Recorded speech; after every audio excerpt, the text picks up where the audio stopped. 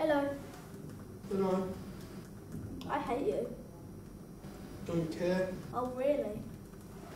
Yeah, well, we've all got opinions, don't we? You're a street rat anyway. You don't have no family or friends. Why are you still here? No one likes you. All the time you're bullying me, and I'm just getting miserable and all that. Can you stop? No.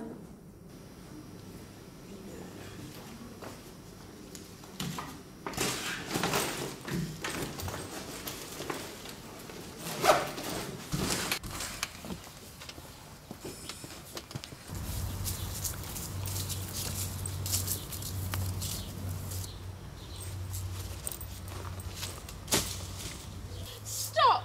It doesn't have to be this way. What if there was a way of stopping any cyberbullying on any social media website? Well, there is. The Electro wristband. Why don't we see it in action? I wish you were. D- Ow!